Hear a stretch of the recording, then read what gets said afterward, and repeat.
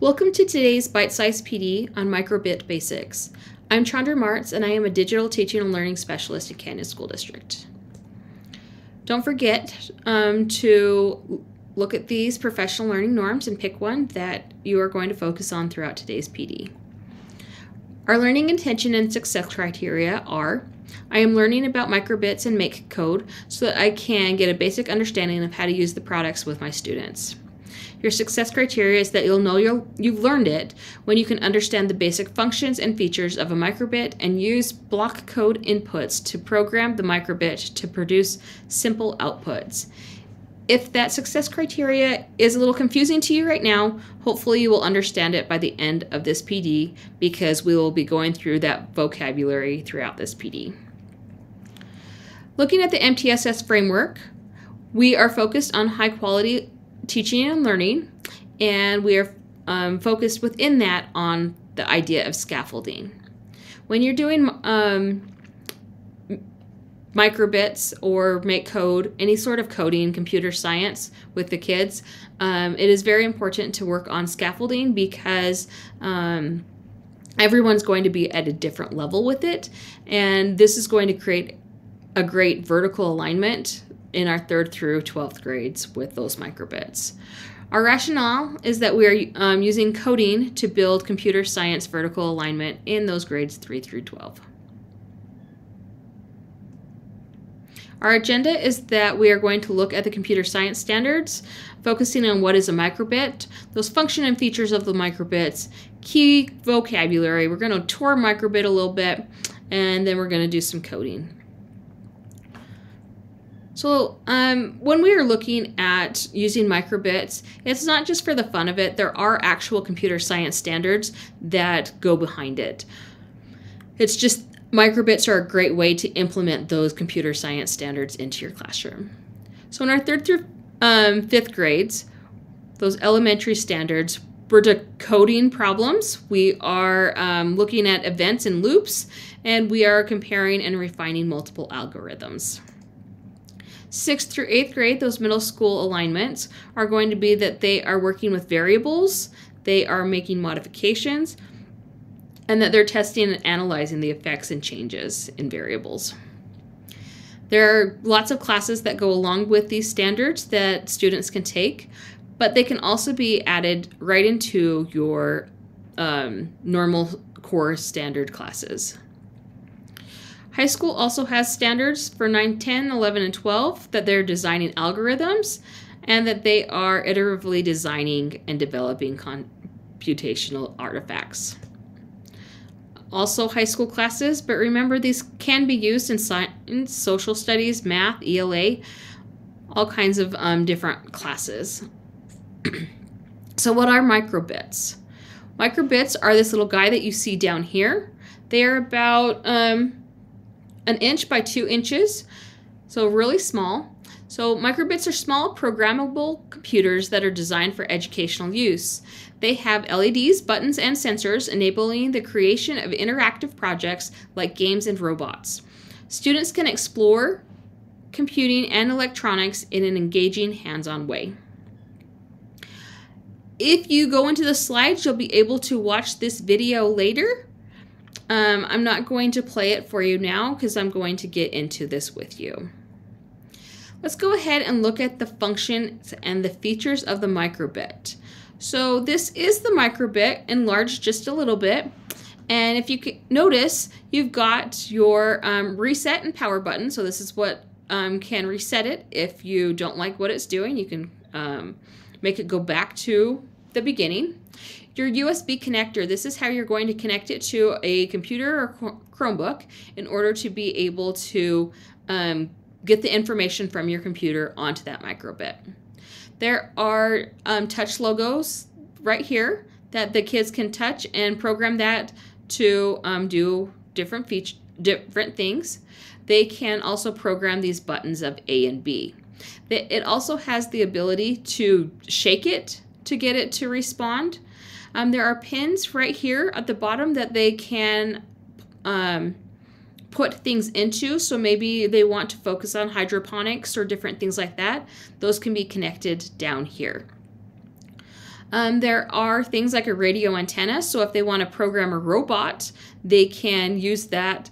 And um, they could even use one microbit in a um, controller and they could use one microbit in the robot and they can pr- um, program those two microbits so the controller is controlling that robot.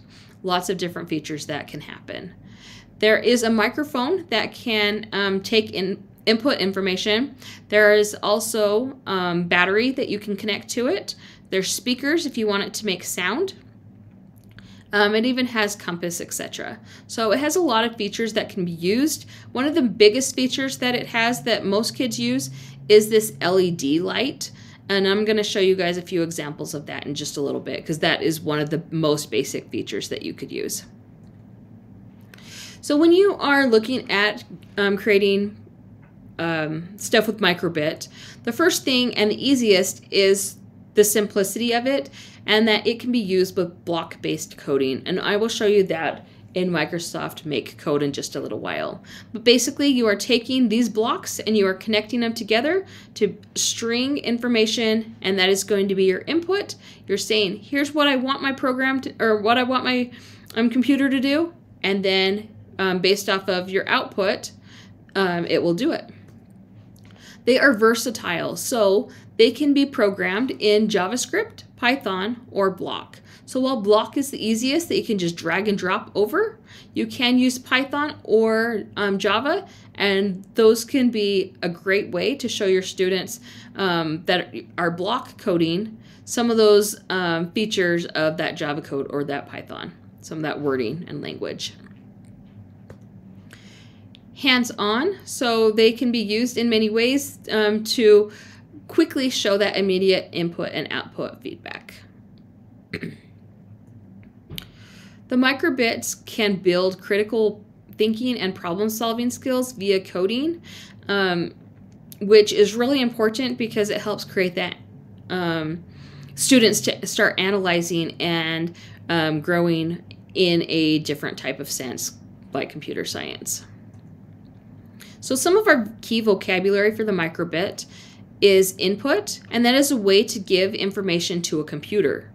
So an example of that would be like putting block code in instructions into the make code. The definition or output is the next one. So the last one was input, this one is output. This is how to get the information out of the computer. So you may be putting in the computer that it's going to make a noise. The output is that the noise is happening, that it was programmed. Okay, an algorithm is those step-by-step -step procedures. So building the simple program to choose a number 1 through 10. And we can um, show you that in just a little while.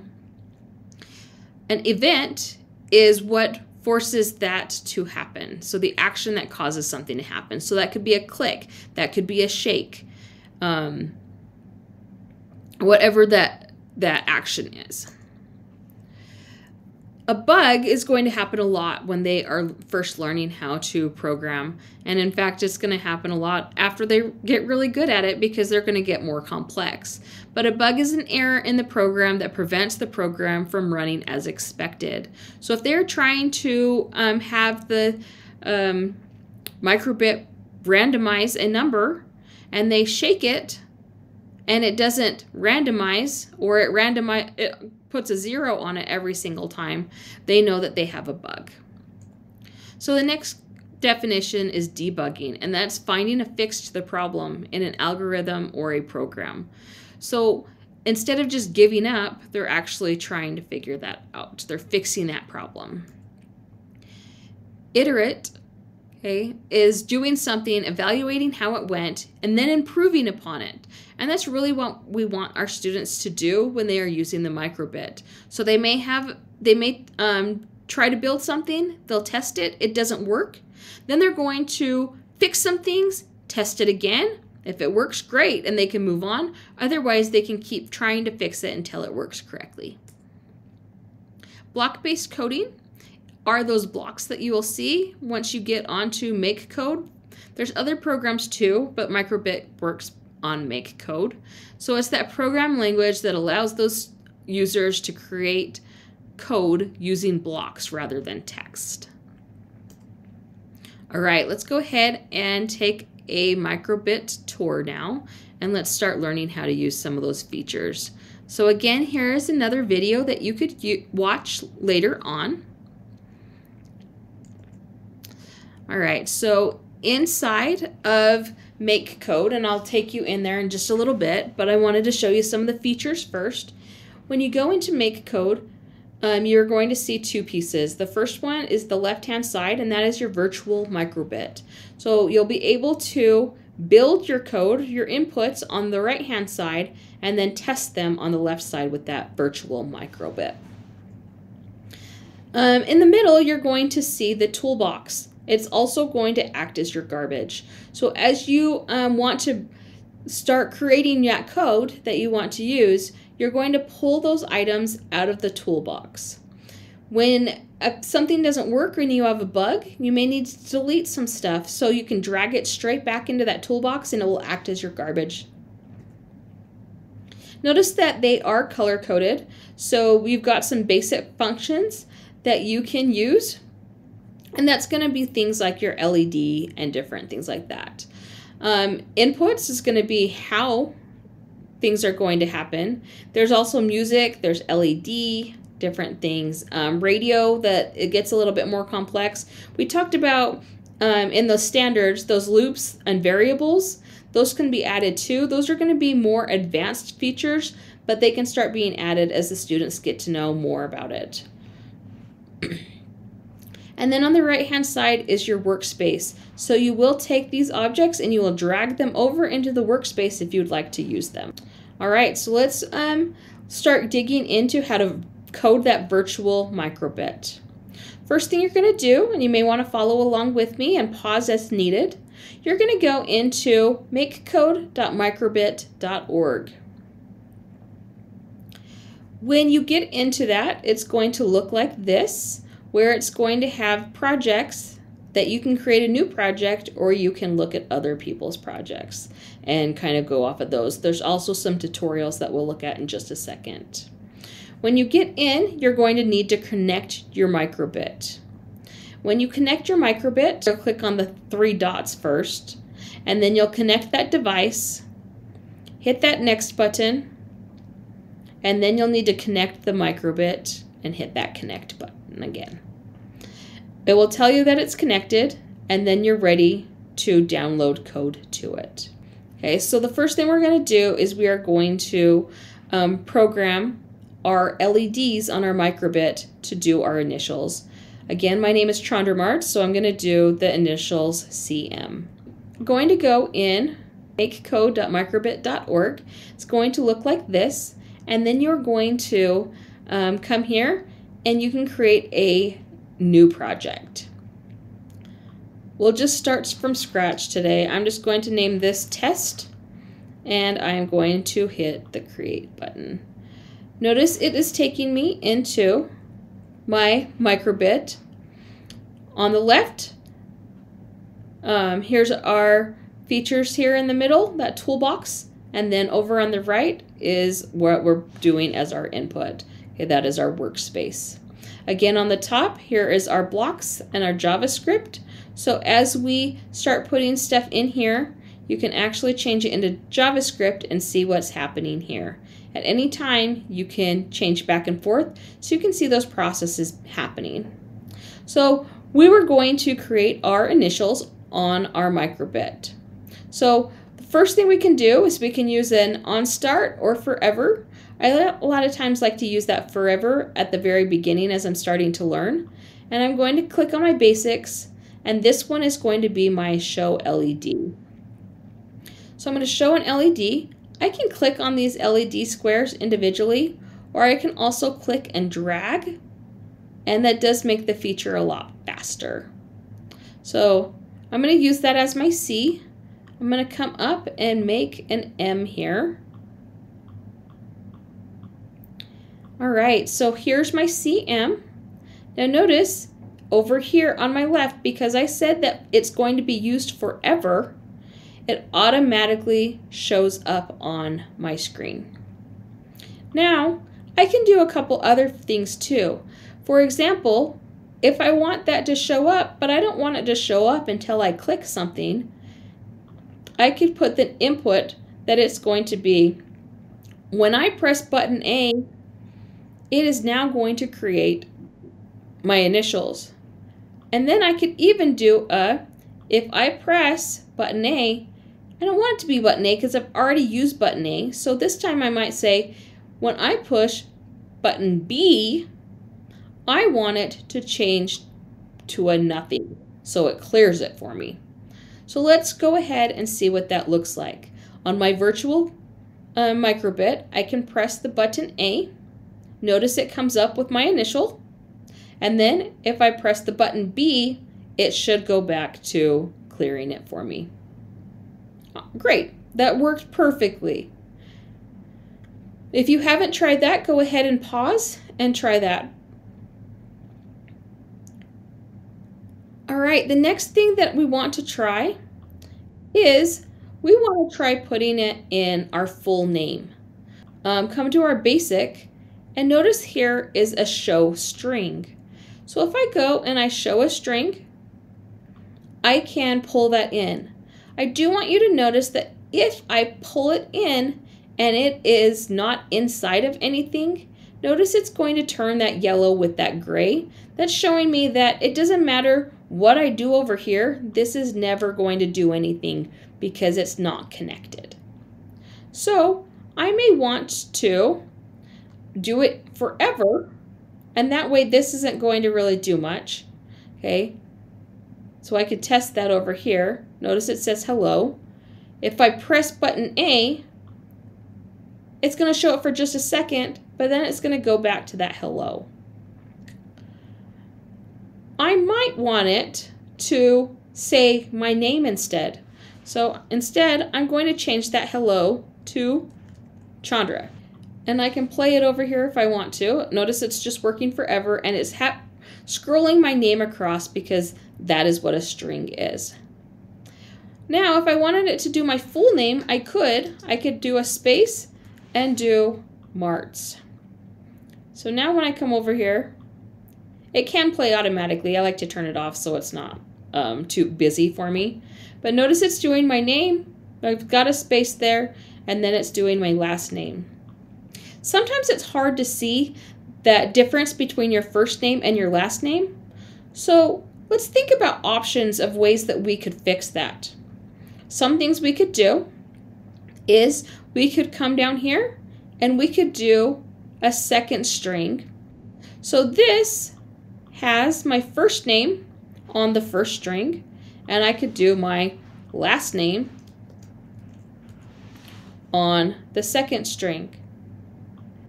Other options I could do okay, would be I want, when I press button A, it's going to do my first name, or if I press button B, it's going to do my second name, my last name. So button A, there's my first name going. If I switch it over to button B, when it finishes, now I can, it shows my last name.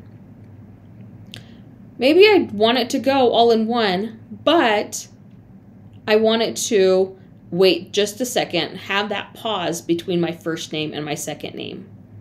I could come here. I can go, let's see. Um, in my basic, I can go down here to pause. Um, when I pause, Notice it's coming up with a 100. So that is a microsecond. So that basically in um, computer language is going to be like a tenth of a second. So that's going to be like um, two tenths of a second, a half a second, or I could do one second, two seconds, five seconds. So um, the, at first, let's just do a first name, have it pause, and then let's bring this over to my um, last name. Let's see what that does. So, um, do you remember what we need to do?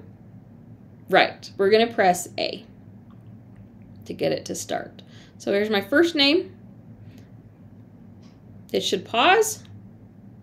And then my second name. All right, so that wasn't really long enough. We couldn't really tell the difference. So let's go ahead and let's do a one second pause this time. Pressing A shows my first name, pausing, and then my second name comes through. Okay, so they could do that for a lot of different things. Um, maybe they wanted to make a beating heart. It could look much the same. Instead of using a string, I'm just going to delete those really quick. They could do that same thing with those LED lights. And they could make a picture if they wanted to. I guess I said I was going to make a heart, so let me make a heart. I don't know how to make a heart. Sure. Okay. Or another option is instead of creating it myself, I could do something like this show icon, and that's actually going to create a much better heart than what I created. Okay. So it's got different things. Maybe they're doing a smiley face and a frowny face or something to that effect. Okay, so they could do a show icon. When they press A, it is going to show that heart. Now, we said that we wanted to have a flashing heart. So again, right now, it's just there, showing me that when I press A, that it's just there. Because I have nothing else there, it's to just stay on my screen. So if I wanted a flashing heart, options that I could do, again, I could use that same pause feature, and now I could come in and I could um, show a different icon. I could come here and I could say that I want nothing. Okay, so now it's going to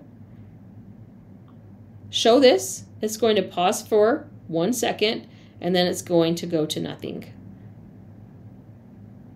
and now it's nothing. Okay, so it was on the screen for one second and then it's not. That doesn't really help though because it's not flashing, it just showed up and then went away. So things that I could do is I could actually create a loop and I could say that I want to repeat it for four times. So now when I press the A button, it's going to report or repeat four times. Notice that when I brought that in, okay, I was, it, it's going to put it wherever you want it. So when I brought it in, I wanted it to be here. So it's saying that it's um, repeating and anything that goes inside of that is what the action is going to be. So it's going to repeat this action four times. So instead of it being one second, let's make it fast. So I'm going to play it. I'm going to click on A and it should be flashing four times. But what happens if I want it to go forever? So instead of being it when I press A, it could be that it's just flashing forever. All right, I just want to I want to show you one more thing, and this would be as if they want to roll a dice. All right, so when you roll a dice, you're kind of shaking those dice. So I could do something like bringing an input. So on shake this time, and notice that there are different options with that shake. It could be like a free fall. So if something falls, if it tilts left or right. So maybe they they could make a video game with these. Um, for this one example, I'm just going to do that shake. So on a shake, so notice here is a number, and I could say that I want it to be 6, for example. Okay, so now when I play here, you can't really shake on this because that doesn't work. So it puts this shake button up here. But now look, when I shake it, a 6 pops up. Okay, but that's not like shaking a dice because when you roll that dice, it's actually a random number, right? So while that's cool, it's not actually doing what we need it to. So instead of just showing that number, what it could do is you could use math down here and you're going you could say that you would like them to pick a random number. So notice now um, it doesn't click onto a bottom of anything because it is rounded. So it actually would need to go in to a rounded area. So if you notice, I can actually click and attach it there. And now it is saying show a number.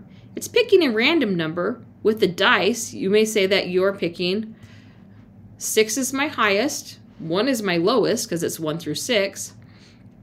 And then they can, on shake, pick a random number one through six. So as I'm doing that, it is picking those random numbers.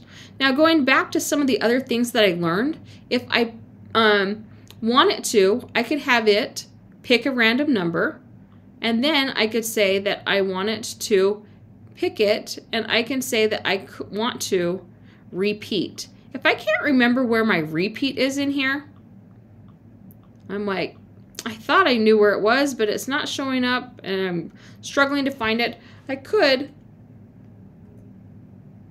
search for it. So this is actually showing me that it's in the loops, which is great. So I'm going to repeat that. Remember, I need to put that inside so it's saying on the shake, it's repeating it and showing a number, 1 through 6.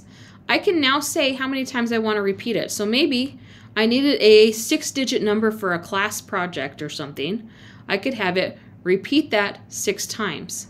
So now on my shake, it is giving me a six-digit number. And it will end with the last one. That was really fast. I didn't really have time to write that down, or maybe I needed didn't need to, but maybe I needed to slow it down so I could, on the shake, repeat that number, or I mean, show a number picking randomly, one through six, and it's going to do that six times. But maybe I need it to pause. Again, if I remember where that's at, that's awesome. Sometimes I can find it easy because I just remembered. But if I can't, I can always search for it right here and search for that pause. Now, if I do it up here on shake, it's going to pause and then it's going to repeat six times. Probably not going to be exactly what I want. Okay, so I could come and I could um, repeat, show number, pause. Okay, let's try that. I'm going to say that it's going to pause for one second in between each one. I'm going to shake it. Wait, what happened? It didn't seem to pause for that one second that I was asking for. That's called a bug. So we need to debug it. Well, oh, I know what I did. I put it in the wrong spot. So instead, I can take that pause I can put it in with the repeat. So it's going to pick a number at random and then it's going to pause. And then it's going to do that six times. So let's try that now. Let's go ahead and shake it. Two, pause, five, pause, four. So it slowed down my number until I got it to repeat six times. All right, so those are some of the basics. Like I said, there's a lot of different features here. Inputs, there's more inputs basically. We could add music to it if we wanted to. The radio is um, if they're trying to send or receive from other things. Notice there's more of those as well. Okay, there's the loops that we talked about. Logic is usually like your if-then statements. So those are going to be your conditionals that um, it talked about in your standards. There's always variables where you can actually make your own variable, which is pretty cool. And then I love the math because now you're starting to get into um, the math side of things where kids are starting to learn more about rounding or square roots and that they could do that as part of a pro math project. Okay. Um, there's also, let me go back, this button called extensions. And that's going to be really good when you guys start working with things like the Climate Action Kit. Um, Climate Action Kits is called um, Forward Education. So Forward Edu. And once you click on that, it would actually add it in to your project right here. So now notice that it added it in and there will be something that's called sensor And they'll um, so the different pieces here that are in your workspace, or not your workspace, but in your toolbox, um, will match what it needs for forward education. So sensors, motors, and there's some, a few other things that may be added. Um, and then there's also these advanced features that could be added and used as well. And then the last thing I wanted to show you is how to connect it in case you wanted to look at the actual microbit. So here's your microbit, it's really small. And then if you connect it, you connect it USB using the micro USB and you will connect it um, at the top. So you will connect it and it will make a noise. And then right here on those three dots, you'll be able to click on the connect device. Sounds like a video game. It will tell you step by step what you need to do. Hit that next button and then it's going to tell you that you need to pair. You can pair there and then you can click on the connect. Notice it's going to make noise again telling you that it's connecting and it will then it will be connected and then you can click on done.